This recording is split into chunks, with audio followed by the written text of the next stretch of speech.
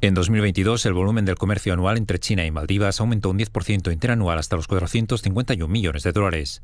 El capital chino y la experiencia de China en infraestructuras también han desempeñado un papel importante en el desarrollo de Maldivas.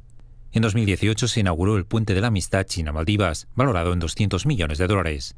Esta infraestructura permite a los ciudadanos trasladarse a pie desde la capital maldiva Malé hasta la vecina isla de Malé.